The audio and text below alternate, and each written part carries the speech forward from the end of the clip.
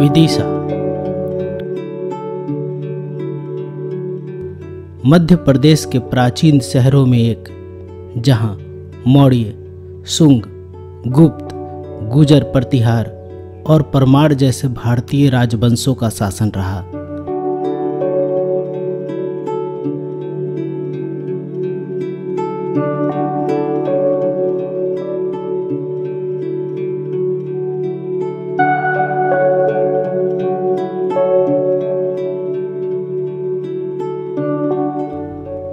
यहाँ कई ऐसे प्राचीन विरासत हैं, जो साढ़े तीन हज़ार साल पूर्व के भारत की कहानी बयां करती हैं।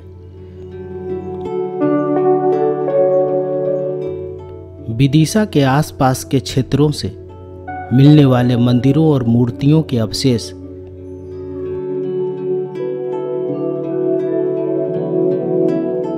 बेतवा और बेस नदी के संगम स्थली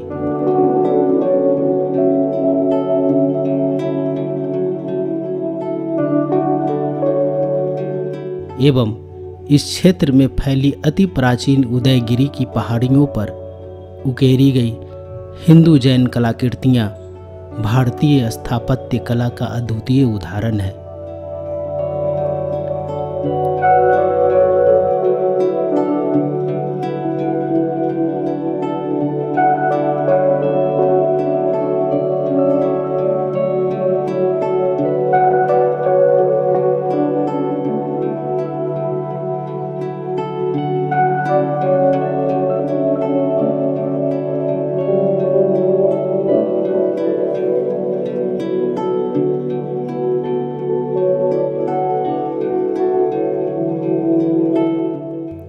हेलिडोरस स्तंभ, जिसे स्थानीय भाषा में खाम्ब बाबा कहा जाता है, भारत के अति प्राचीन स्तंभों में एक है।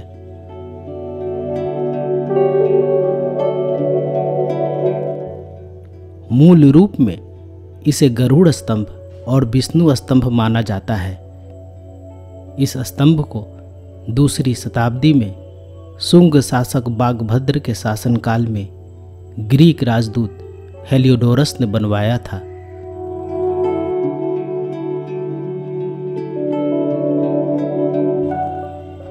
इतिहासकारों और भारतीय पुरातात्विक सर्वेक्षण के अनुसार, इस स्तंभ के आसपास प्राचीन मंदिर के अवशेष मिले हैं और इसे नष्ट मंदिर के संरक्षित स्तंभों में एक माना जाता है।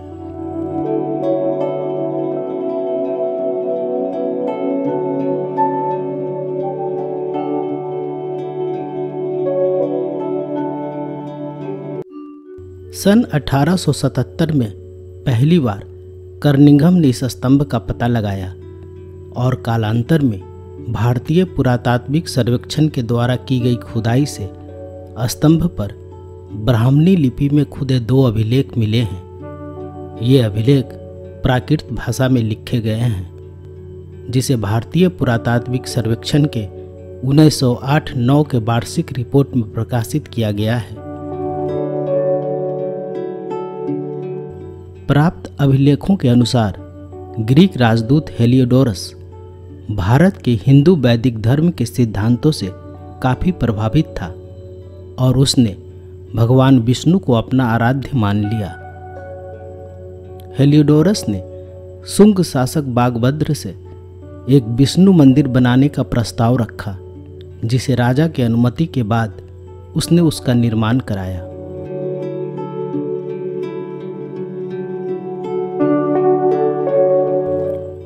मंदिर के प्रवेश द्वार पर उसने एक स्तंभ बनवाया, जिसके शीर्ष पर भगवान विष्णु के वाहन गरुड़ की मूर्ति स्थापित की, जो वर्तमान में ग्वालियर के गुजरी महल संग्रहालय में रखी गई है। साढ़े छः मीटर ऊँची यह स्तंभ अष्टकोणीय आकार की है, जो गुलाबी भूरे बलुआ पत्थर से बनी है। यह वर्तमान के आधार से साढ़े छः मीटर नीचे है।